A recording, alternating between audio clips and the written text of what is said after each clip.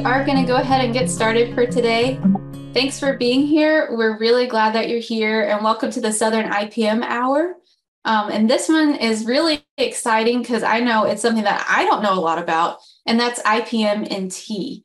Um, the Southern IPM Hour is presented by the Southern IPM Center, where we present research issues and programs in integrated pest management from the Southern region through this webinar series. And the IPM hour takes place on the first Wednesday of the month, usually at 1 p.m. Eastern. I'm Kayla Watson. I'm the communication director of the Southern IPM Center, housed at NC State and University of Georgia. And we have a mission to coordinate IPM across the region. We are also one of four regional IPM centers supported by USDA NIFA Crop Protection and Pest Management Regional Coordination Program.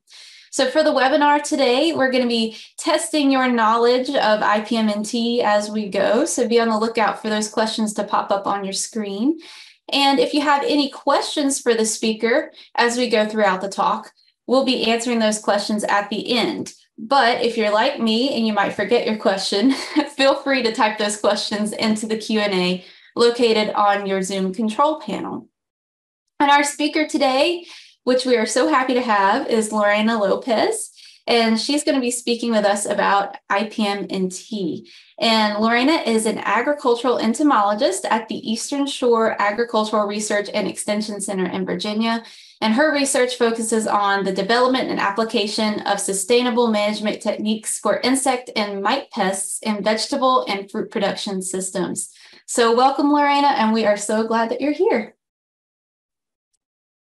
Good afternoon, everyone, and thank you for being here and thank you for the introduction, Carla.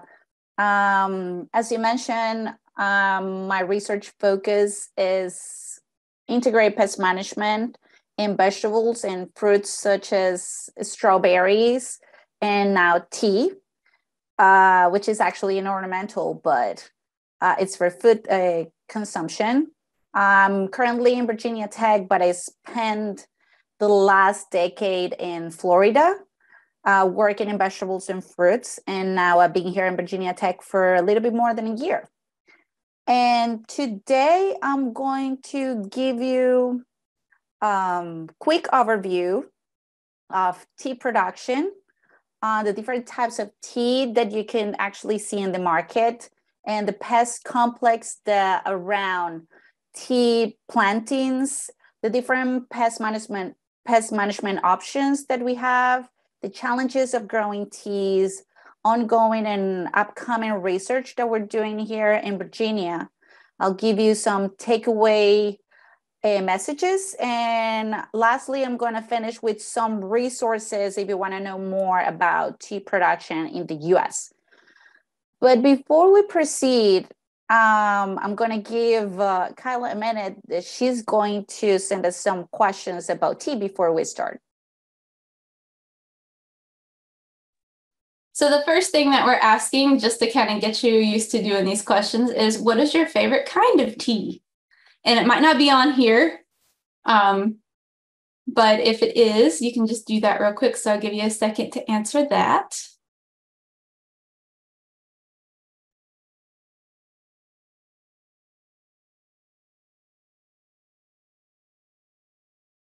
Oh, it looks like black and green tea are, are neck and neck here. Okay, it looks like black tea uh, very narrowly won out. Would you like to go to the next nice. question now, Lorena? Yes, please, because I don't want to answer to give you the answer before the quiz. Okay, now this question is what country is the largest producer of tea? So I'm going to talk about this, but I want to know what you actually think and your trivia on tea.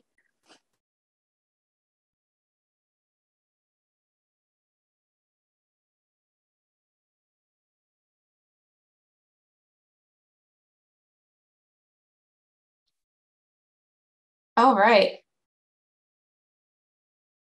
It looks like uh, everybody got it right. so it is China. Yes, I, I wasn't able to see the re- the responses, but yeah, if you said China, you were correct. Can you see it now? Now. Hmm.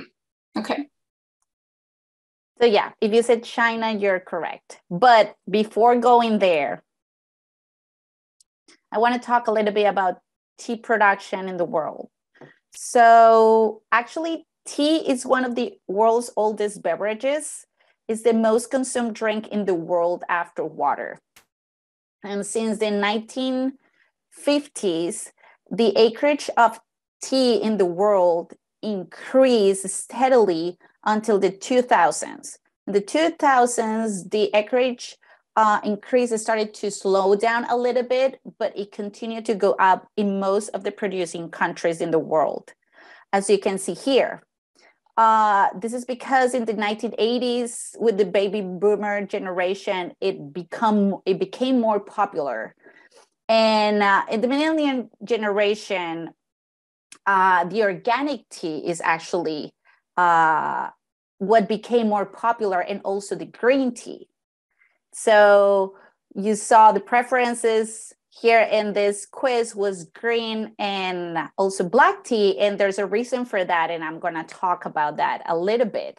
But the world tea production increased in the last decade by 3.5% annually to reach more than 6 million tons in 2020.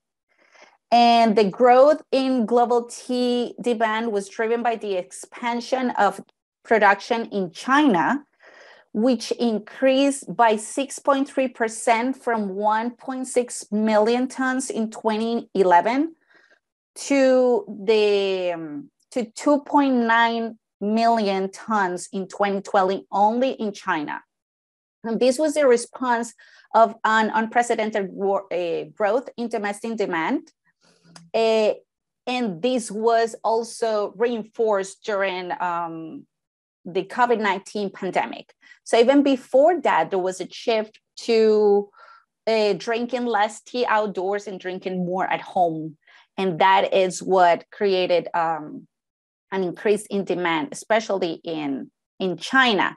But the producing areas in the entire world are, are concentrated in the tropical and subtropical areas. So the spots that you see here are just to show you where you can find uh, producing farms.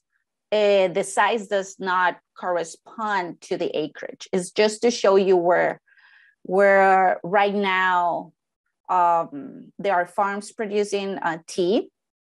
And worldwide, black tea production increased by 2.4 um, annually, whereas green tea increased 4.5 over the last decade. And actually, this was a shift because before that decade, uh, before the 2000s, um, the black tea was the more popular one and the one that uh, continuously increased uh, every year. So, as I mentioned, green tea in the last one or two decades have become more popular and more popular to now um, uh, be more, continue to be more um, produced in the world than black tea.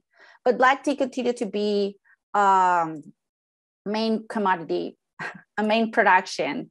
And um, the tea is produced on 46 countries across Asia, Africa, and Latin America. And in many of the developing countries that you see here, it contributes immensely to rural devel- development and um, poverty reduction. And actually 60% of world production it's it's made by smallholders. So it's a resource for a lot of uh, smallholders and and family farms around the world Tea is one of the most important cash crops in the world, but not only for developing countries, but also for developed countries like China, which is actually the main producer of tea in the world with 46.6% production in 2020, which is uh, 2.9 million tons, followed by India with 20% of world production.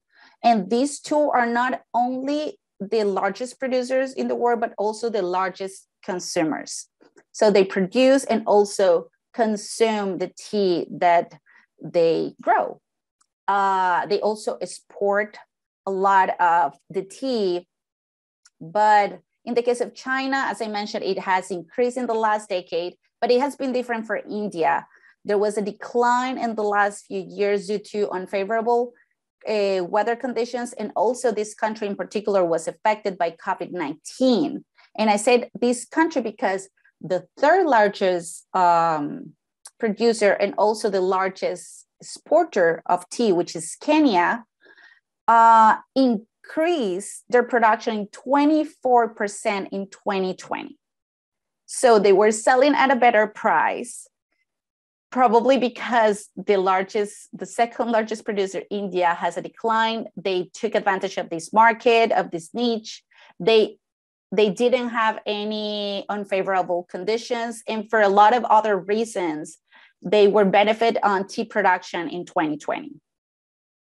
Uh, Sri Lanka is the fourth producer in the world, but it was affected by COVID 19 uh, also, but labor short, uh, shortage.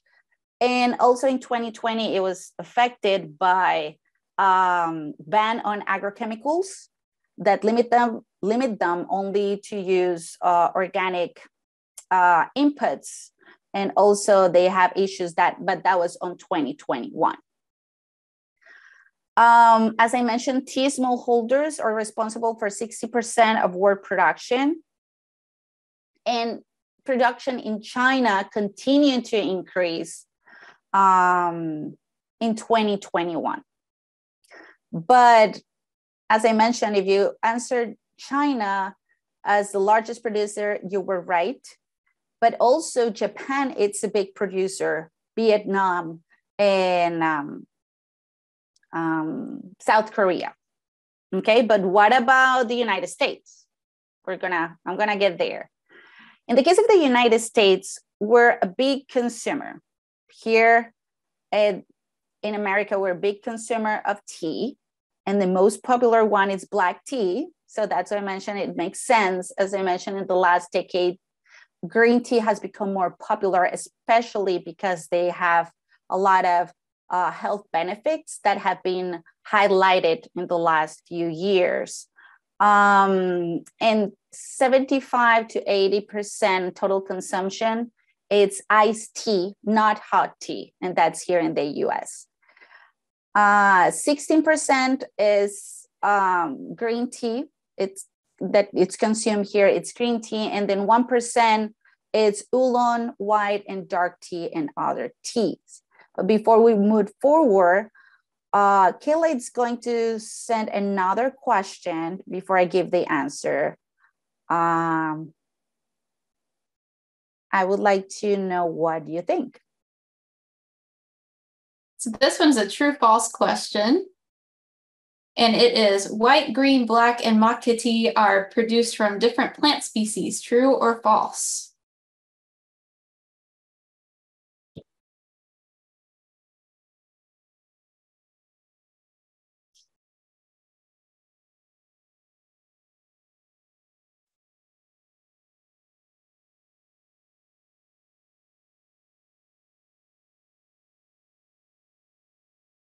All right. Looks like we have seven people that said true and 10 people that said false. If you said false, then you're correct. They actually come from the same plant, Camellia sinensis. And it's just different parts of the plant. And I'm going to show, I'm going to explain that a little bit uh, in, a in a moment. But different areas of the US and different regions in the entire world focus on the production of these different types of tea. Not only because they require different conditions, but there are also different eh, varieties that are that have been produced and breed for these different types of tea. And in the case of the production in the US, it's just in recent years that growers have become interested on producing tea. And well not really recent years because it takes years for you to establish tea plants. But in the last few decades it had become uh, more popular to grow tea here in the us and you can see this is a map from 2017 and we're finding 15 states with reported tea farms here in the us and hawaii for being so small have a bunch of them. They have had a history now of tea production and they're actually some of the few um, reports of pest management and tea practices come from Hawaii. But you can see that also we have on the western coast a few plants, but most of them, a few farms, most of them are at the east coast. But this is not an official record. It's actually a blog. This comes from a blog that is just trying to find out and pinpoint where are these farms. So there is no way that we could confirm if all these farms are actually active now and producing. What we do know is that based on the information is that you see the variation in size. There's not only variation in size from 0.5 0.5 acres to 196 acres, which is actually a farm in South Carolina, which is now a tourist uh, place. Not, it's not producing, but there's also a variety of uh, production outputs, not only for consumption, drinking the tea, but also to do um, care products like soaps, shampoos, uh, and other skin products uh, like the farm that we have here in Virginia, which is called Virginia's first tea farm. But again, there are very few, there are very few documents that actually have updated um, information about these farms in the US and quantified the size and also uh, the practices on these farms. And this is how they look. Some of them look. The one in the bottom is actually a picture from the um, Virginia's first tea farm. And the one at the top is the one from the Great Mississippi Tea Company, which is specialized in what a lot of growers here call a specialty tea, which is a more unprocessed tea that it's it can or cannot be me- uh, mechanically harvested, but it's it's not for retail sales, it's more for direct consumption. And then this picture is for a tea planting in, in Hawaii, where they're actually using plastic for to suppress weeds. So there are different types of uh, scenarios here. You can see they're in plain surfaces, uh, no shade, um, and in plain sun. But this is very different than what we see in tea fields in Asian and Afri- African countries. And remember, this is where actually, this is where actually the Camellia sinensis uh, species come from, somewhere in Asia. China says that it was originated there, but then some other people said it was originated in India. It's actually uh, it's not very it's not really confirmed where it comes from, but there is a long tradition of growing and consuming tea in these Asian countries. And they have developed different protocols. They have a lot of history of how to grow uh, these plants in hills mostly with well drained soils and acidic soils with different levels of shade for production. And again, different areas for different types of, of, of tea. If it's either black, white, oolong, or matcha tea. Um, so, and there are also different types of processing times and processing steps for these different types of, of, of tea uh, that are produced uh, around the world. I just wanted to show you here the different, the main steps to process tea from harvest to table. With the rain, it's basic, it's very important to dry the leaves, to oxidate, depending on, I'm not going to go into details with it, but depending on the um, length of each of these steps um, it's is the result of the tea the flavor and also the different types of, of tea that you can find in the market. So as i mentioned i'm just going to talk about these three briefly which are the main ones. There are a lot of other types of tea and they different they're they are different based on the processing times. Also what part of the plant they are they are harvest from and what time of the year they're harvest at. So that it's what determine what type of tea it's gonna be it's gonna be. How is it going to taste? How is it going to look? What color is it going to have? So if you're harvesting assume that this is a tea plant. If you're harvesting from the top part of the plant the unopened buds and the youngest leaves those are for usually for white tea. Sometimes it's called unprocessed tea because it doesn't need oxidation process or rolling which is actually need, needed for green tea. Green tea it's harvested from young leaves not unopened but it's still young leaves that require more time to process but still at low heat. They need heat activation and they have oxidation but they're less oxidized than white tea and black tea. And they are also called uh, semi-fermented tea for the green tea and non-fermented tea uh, depending on the processing and lastly black tea are usually mechanically harvested um, from the lower part of the plant. They're fully oxidized. Rolling is, is required. So they need more time, higher heat uh, to gain different flavors and different colors that we can find in our iced teas and our black teas.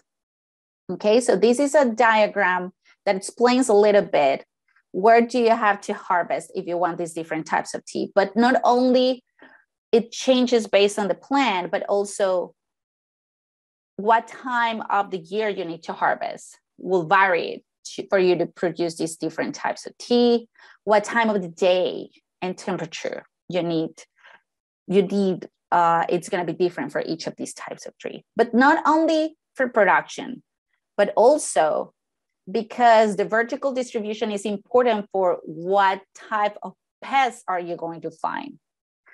So that's what I was trying to get to. If you're producing different types of, of tea, you're going to have probably a different complex, and your main pests may be different if you're producing white tea versus black tea. If you're mechanically harvesting, you may have different pest issues that if you're plucking by hand. So all those things are important. So the vertical distribution on the plant is important for pest infestation, plant phenology, what time in the season, what is the age of the plants. The plants in establishments go from one year to fourth year of the uh, one year old plants to four year old plants.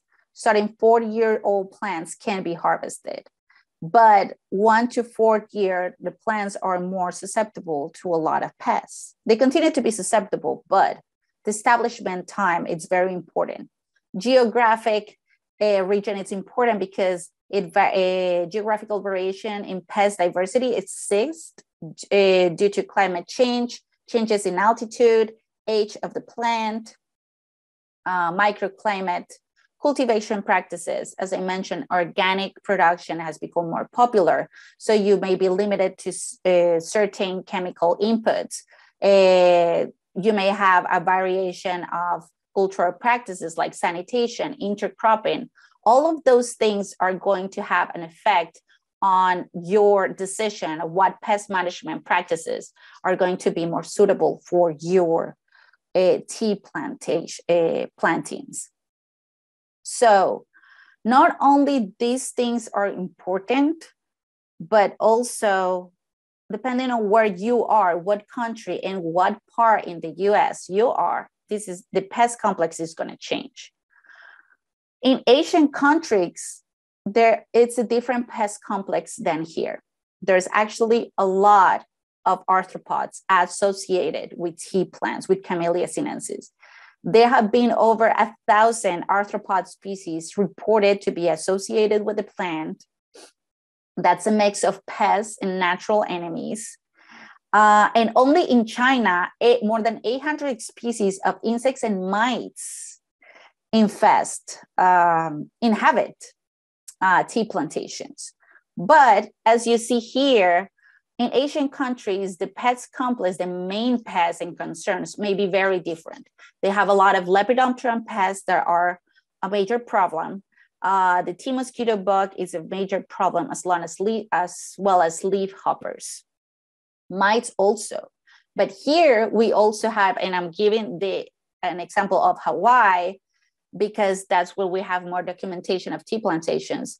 We also have some beetle beetle pests Lepidopteran pests. Uh, we have a lot of whiteflies, not a lot, but a few whiteflies, a lot of a lot of scales that are also sometimes problematic on Asian countries. And I'm going to talk about a little bit about them, but I'm going to focus, I'm going to try to narrow it down to the main pests that you can find in camellia in the east of the US. Um, because that's the area where we want to, um, I'm going to focus. And this is actually a compilation of different arthropod pests that you can find on South Carolina. And it's going to be similar for other eastern states where we're growing tea. And is here you can see the months of the year. And these are uh, some of the major pests. P denotes a peak on the population. And what this is telling us is that these different pests could be some of them like these scales could be throughout the year depending on where in the east coast you are. And the ones on the red um, on the red squares are the ones that i'm going to uh, talk a little bit more about. So the armor scales are a main pest in the in tea plantations on the east coast of the us mostly tea scale and camellia scale there are many other scales that you can find in tea plantations, but these are the two main concerns in this area. They can infest young and mature leaves, and they have similar life cycles. The adults have uh, shells that are made of wax, skin, and fecal material, they are hardened. In the case of the tea scale, they have they are brown and have one single rich, uh, rich shells whereas the adults of the camellia scale are more uh, are darker. Um, they are flattened and elongated, and they are bigger than the tea scales. But they both produce.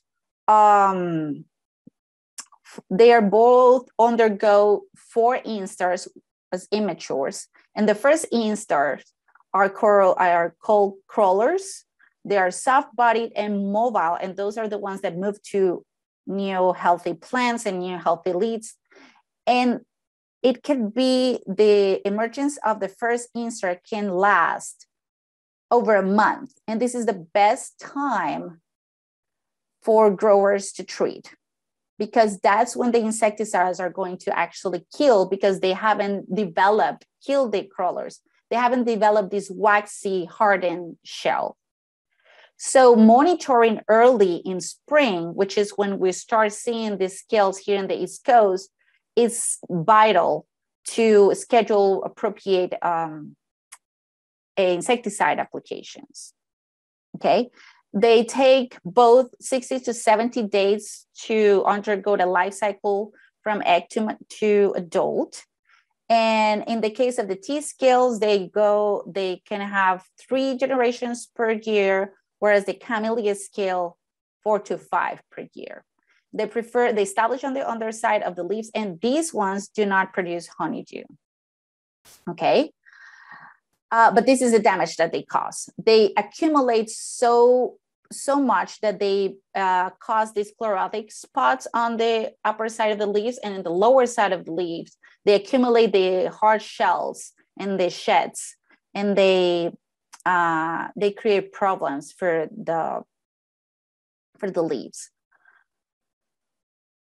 The soft scales, there's one that it's prominent here in the East Coast. Again, there are more of this, but I'm going to talk about the cottony camellia scale. Uh, this one infests mainly younger leaves. Uh, they cause, just like uh, hardened scales, armor scales, leaf distortion and stunted plants. They are yellowish and brownish margins, but they are not hardened. Their shells are not hardened like the armor scales. They also have crawlers that are dispersive. And in the case of Virginia, the crawlers emerge in June, whereas the armor scales emerge between February and April. So we need to weekly scout for these scales because these are major pests of, of tea. The difference of these soft scales is that these one do produce honeydew, so it's this uh, sugary secretion, and they drop it on the leaves, and the accumulation of that uh, produces sooty mold, which are these uh, on the top picture are these uh, black patches on the leaves. That interferes with photosynthesis, and that's an actually a fungal disease that affects greatly the plant. Another insect that it's also a pest and also produce honeydew and contributes to the proliferation of sooty mold are aphids. There are actually multiple species of aphids that can be found on tea on this side of the US. Most of the ones that you can find, the most commonly ones are the green peach aphid, the tea aphid, or that's also known as brown citrus aphid, and the melon aphid. These are major, especially melon aphid and green peach aphid can be found in a lot of vegetable ornamentals and fruit crops. Um, they infest younger leaves. I'm going to show you uh, how they look. Uh, they cause leaf distortion very quickly and they stunt the plants and they can kill them because the leaves start dropping. And especially when these mold they start to accumulate. And these are an issue in indoor and outdoor tea plants. And this is how they look. So they start accumulating and they curl the leaves. So these leaves are not are not good for producing any type of white or green tea. And they concentrate on the new shoots. Also, we can find thrips, different types of thrips, like flower thrips, which are the Frankliniella species, but they're, no, they're usually not a problem. So it's rare to treat with insecticides for Frankliniella species flower thrips.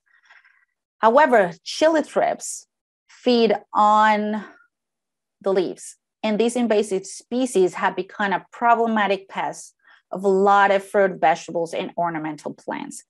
And it, it as far as I know, it hasn't been reported to uh, for tea plantings here, but it has been reported in Louisiana, affecting greatly the yields of tea plantations there.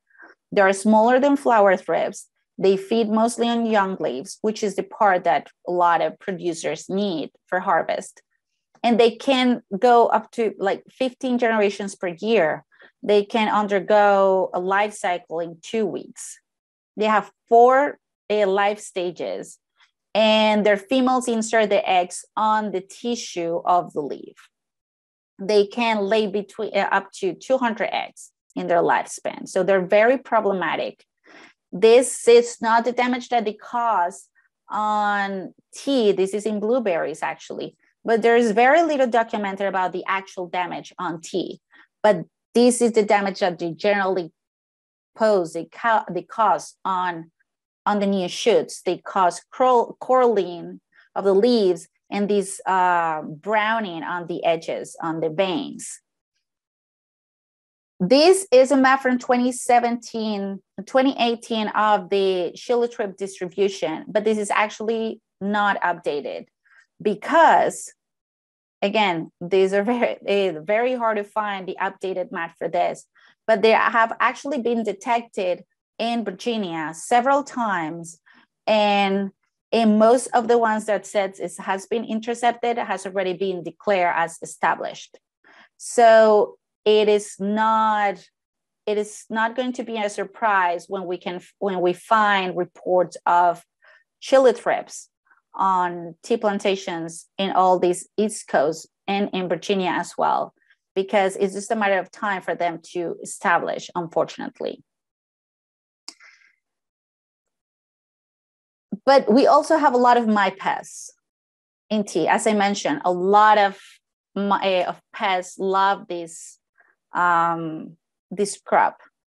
And there are three main spider mite species that affect uh, Camellia sinensis.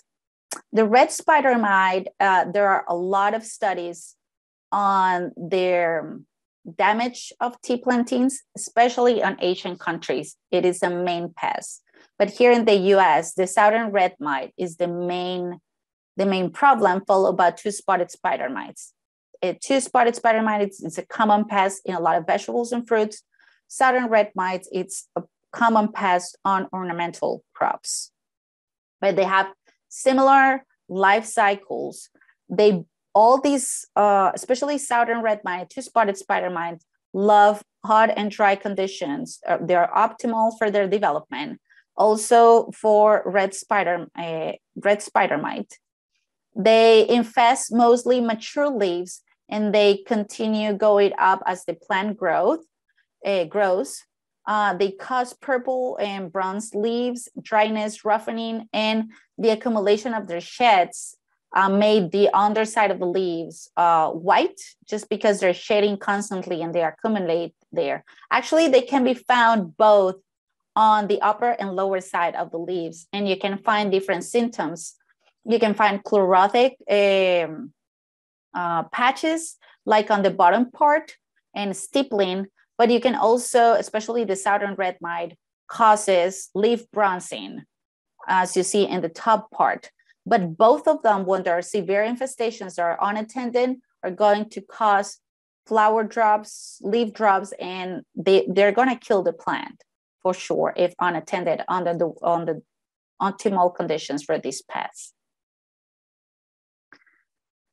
We also have issues with broad mites, also called yellow tea mite, but this is mostly on uh, protected structures, unlike spider mites, which can be found on open field or greenhouse. This one is mostly, these broad mite issues are mostly on protector structures, which is a problem for the growers that are trying to sell seedlings uh, because they infest the younger, younger leaves.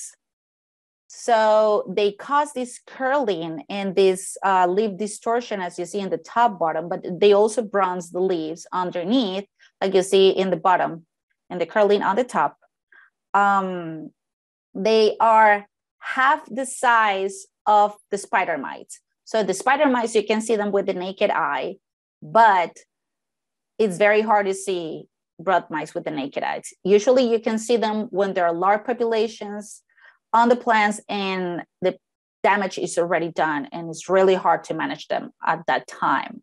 So monitoring constantly and having preventive methods of control is very important for this type of pests.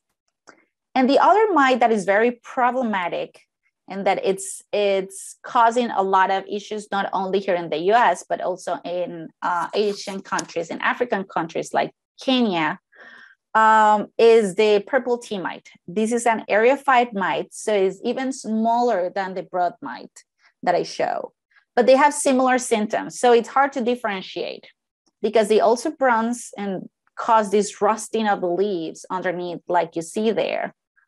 Uh, it's also very hard to see, so it's hard to differentiate is it broad mites or is it purple tea mite? Uh, you need to have a microscope to actually see these mites. So most of the times you need to send samples to confirm identification of what is the issue. And unfortunately, when you see the symptoms in the plant, it's probably it's probably too late for that plant because there's probably a large population on the plant. These might attack older leaves and they show a preference for the upper side of the leaf and the mid rib and margins. Uh, but I'm going to talk to you about uh, some methods to, to go after these mites and to, to suppress these mites. So that's going to be included in the pest management option. So to control most of these pests that I mentioned, cultural practices, which usually are used for as preventative uh, tactics, are very important. That includes sanitation. like cleaning and removing any weeds, debris, all plants and infested plants. That's very important. Pruning your plants every single year. Most of, of plantings need one to two year um, pruning times during the year, depending on the type of production that you're, you're using them for. Uh, monitoring is vital. Weekly monitorings during spring, summer, and fall, because as I mentioned, you're going to have different types, different pests throughout the year, and different pests uh, in the different parts of the plant. So, yellow sticky cards are very useful to monitor thrips, also scales during the time where the crawlers are emerging because they can be this they can be moved through wind as well also, tapping on a cloth or white paper to check for, for thrips is very useful. So monitoring tactics is very, very important But in the case of scales. You also need to monitor by using in the field or collecting some leaves. It's very important to understand the pest biology. As I mentioned, you need to know where, where you can find the pests, at what times in the year, and what different stages you need to monitor the most and are going to be effectively killed by your chemical inputs or the natural enemies that you have in the field and different practices. So this is important for you to put in place an integrated pest management. Integrated pest management program means the combination of all these things I'm, I'm, I'm mentioning. Cultural practices, monitoring, the use of thresholds, the use of chemicals, the use of natural enemies, if you're releasing are the biological control services that the ones that you already have in the field are provided. Taking into account all these tactics is what we call integrated pest management and is what we want to achieve for tea plantations here in the US. There are a lot of protocols that are in place and they're effectively used. Um, a lot of programs, IPM programs for China, for South Korea, for Japan because they have a long journey of growing tea. We're starting this and we have different types of uh, conditions. So we need we need to we need to establish what are our best uh, programs, IPM programs for this location, for our country. But we also need to establish economic thresholds. There are some established for China. And when I said economic thresholds, I'm referring to the number of pests, the number, the number of insects or the number of mites on an unit of area of my plant that it's going to, at which I need to take action. Otherwise, I'm going to have yield losses. So the number of insects at which I need to do something, either spray or prune or whatever, to avoid yield losses. That's what economic threshold is. And we have some thresholds for aphid thrips and mites that we can see here, but these are made in China. There are different conditions, there are different uh, regions, there are different pest communities. So can we actually trust these, these thresholds? Well, it's the only reference that most of growers have here. So a lot of growers are using them. But ideally, we need to evaluate, not reinvent the wheel, evaluate if these thresholds will work for growers here in the US or not. And is it going to work for the East Coast or the West Coast uh, growers?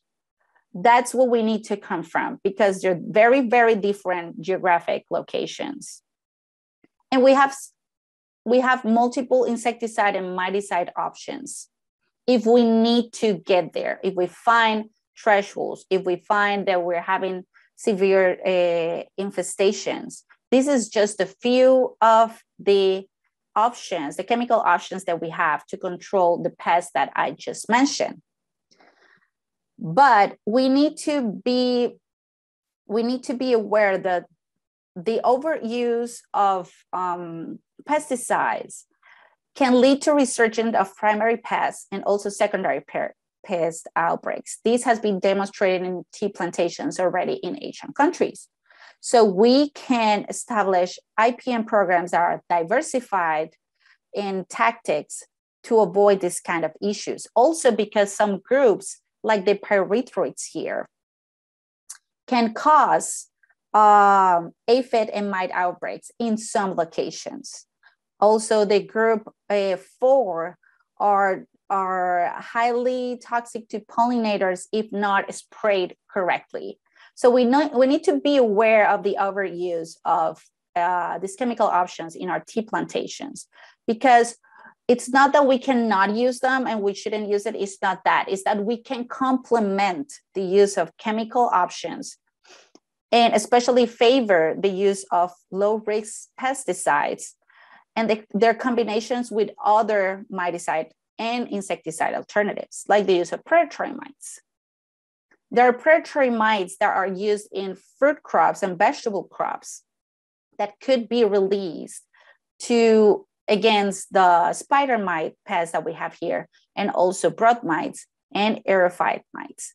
The persimilis is an option that it's being used especially in strawberries, and it's a very good uh, biological control agent of spider mites because it's a it's um obligatory predator of these mites. We also have Neoseiulus californicus, which is a generalist predator, which means it can feed on spider mites, thrips, uh, pest mites, and a variety of other prey. But this is not the only one, the only generalist predator. There are some other examples like Neoseiulus cucumeris. This is just an example. There are options there of natural enemies. But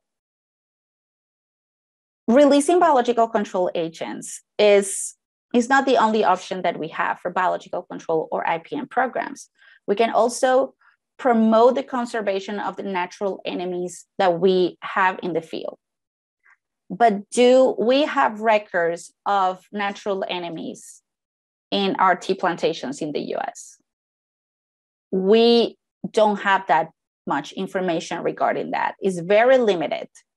And as I mentioned, most of it comes from Hawaii, which is another different microclimate to continental US. But this is pretty much what we what has been reported in Asian countries and what we've seen in some of the tea plantations here. These are very common uh, natural enemy, commonly found natural enemies in vegetables and fruits as well. And we find them in tea. They go after thrips, they go after some scale uh, species, and some of the pests that I mentioned here, aphids. Uh, so it's very important to create a habitats like flowering, um, flowering areas and intercropping to promote and conserve these natural enemies. But as I have mentioned during the entire presentation, we have a lot of challenges here in the US for tea production because uh, we're growers are mainly using practices from other countries.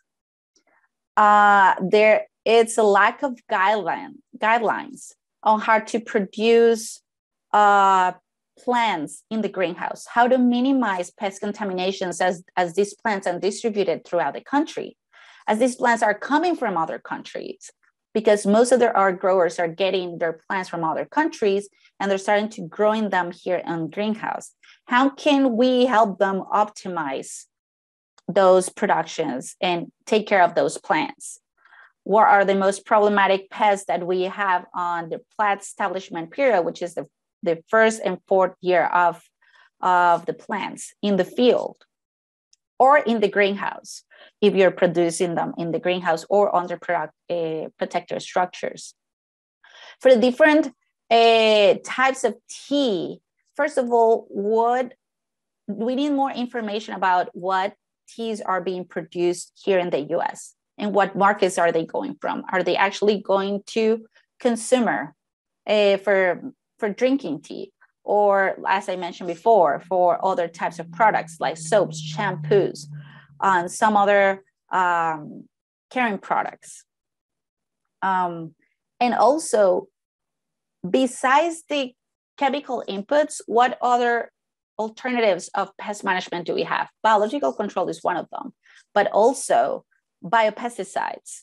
What biopesticides, what low risk or selective chemical inputs can I use together with biological control and together with sanitation and cultural practices that could help growers in the US improve their, their production and their pest management programs. So these are the challenges that we're facing. So basically, we need pest management programs tailored for US tea production. And that's what we're trying to work on Virginia. Here at the Eastern Shore AREC, we started this year establishing um, uh, plantings of tea. Uh, this is just the first tree of what we want to have nine rows with three different varieties of tea. These are what you find here. It's um, covered with cloths just because we want to also evaluate uh, how the row covers can promote the plant establishment. I, am going to see what pests are going to be showing on this field and how, how can I co- uh, control them? What are the cha- other challenges that could uh, limit our establishment? And this is a collaboration between the entomology and the horticulture uh, laboratory at this uh, research station in Painter, Virginia, where we uh, got the plants, one year old plants, which are the ones on the top, and then we planted them under these low shaded tunnels um, this year. And we're starting to see where are going to be the biggest challenge. Right now, aphids has been our major, major concern because it has been really hard to keep them off the greenhouse plants and also the outdoor plants. And uh, the horticulture department is interested on knowing what is the effect of shading on these plants, especially because here we have a lot of winds and a lot of sun that could dry and burn these tiny little uh, plants. As I mentioned, uh, in Asian countries, these are usually grown in hills, not in flat uh, in flat areas, and they have different degrees of shade. So we're we're going to see what's the effect of these shades here. Also, they have an effect on, especially on pest mites. We've seen in, in other areas, in other countries, that the purple tea mite, it shows uh, less numbers and less damage when they, there is shade in the plants whereas we can find more spider mites. So it can limit sun, it can limit um, up, um, incoming pests, but they can also create a microclimate that could be inducive of pests. And that is what we are um, conducting on Virginia. Our main goals in this stage of our trials is plant establishment or the most problematic pests and biological control, and how shade, how different um, cultural practices, not cultural practices, cultivation practices, like different types of irrigation, fertilization, and shade, it's going to affect the pest complex around these tea plants here in Virginia. And we also want to do this to get to develop a pest management program for Virginia growers and the East Coast growers, uh, tea growers. We're trying to do this in conjunction with the Southern IPM Center.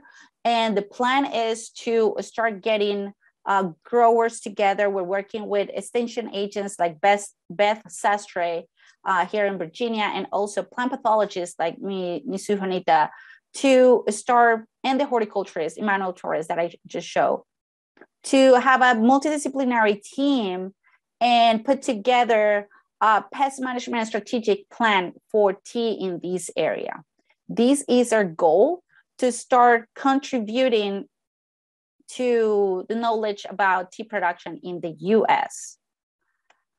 Um, so to finalize, I want to summarize what I've what I've said so far. So first, tea is the most consumed consumed drink in the world after water. So this makes it a very, very important um, cash crop in the entire world. It's also an import a, the US is an important consumer of tea. And there is a lot of interest in the US for the expansion of tea production and diversification, which means different types of product uh, production practices. And and there is a lot of interest of having guidelines placed for each of these different regions of the US. The scales of the spider mites have been reported so far in North Carolina and Virginia as the main pest of tea in landscapes, whereas the thrips pose a risk to tea production. It has been also has been already demonstrated in, in plantations in plantings on Louisiana, and we need to be prepared for that. Aphids, broad mites, and purple tea mites are important pests uh, indoors, and some of them could are not rich by insecticides like the purple tea mites. If they are suppressed, but they need to have another another um, tactic to suppress them um, successfully. As I mentioned, we need to have an IPM program, and we're working towards that to have it one tailor for this area of the US uh, and available to growers and station agents. So we can contribute to this lack of knowledge to have more resources about uh, pest management practices for production of tea here in the US. These are just a few of the resources that so far you can find and have been really useful.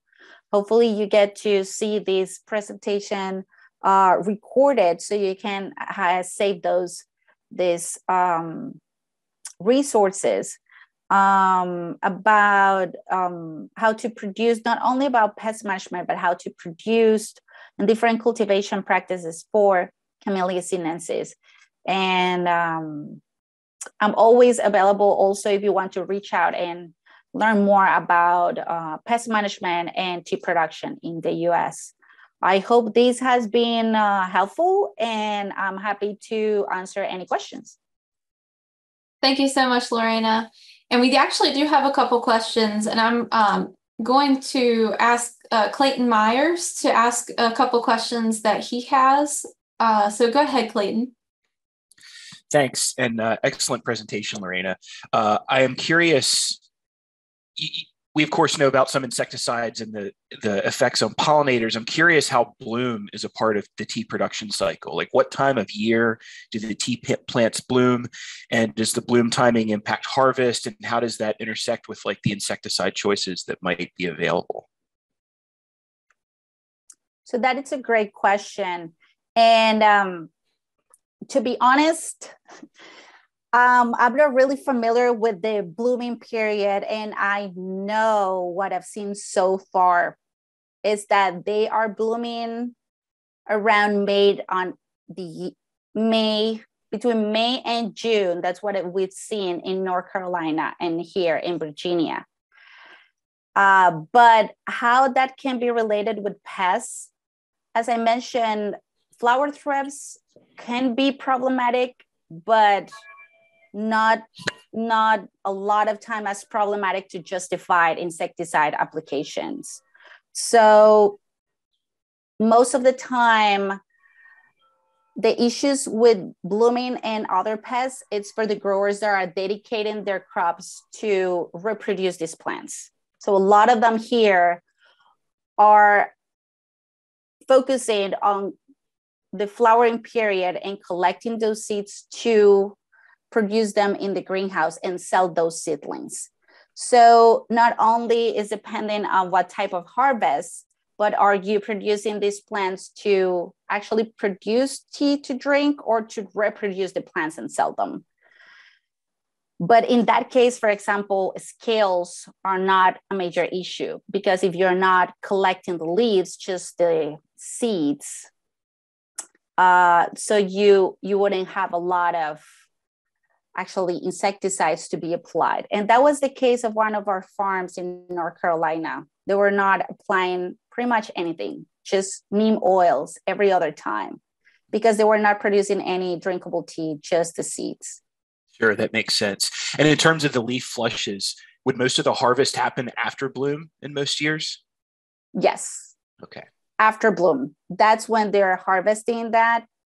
So also some growers, and again, this varies based on the preference of the growers here. Some growers actually prune before uh, or right after uh, flower bud um, production because they don't want the plant to be investing this energy in flowers that they are not going to be using.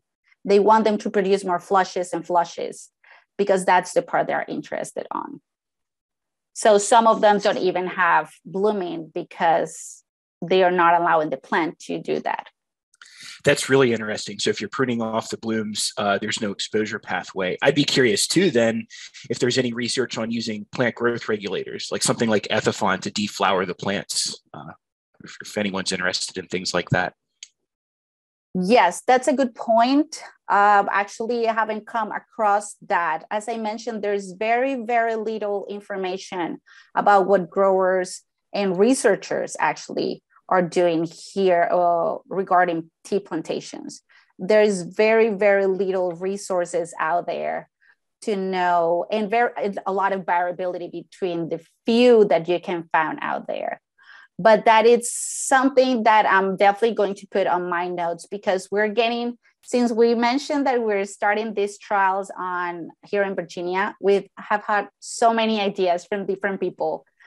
And so we're trying to expand our goal our objectives to try and find uh, to try a lot of these different methods that have been researched in other crops but not in tea here in the us yet Great, thank you. I have another question, but I'll defer. I know we're a little over time, and if I don't want to take up all the time, if someone else has a question. We actually do have another question, Clayton, and it, it kind of um, fits into what you're asking.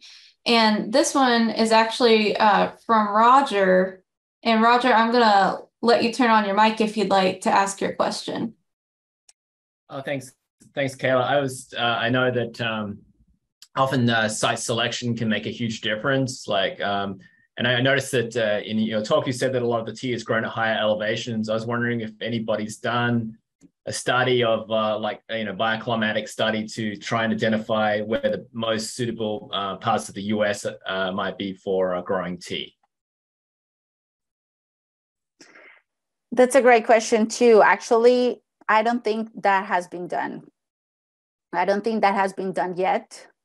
Um, all I've seen from high altitudes, it's some reports from other uh, countries, not here, at least not yet.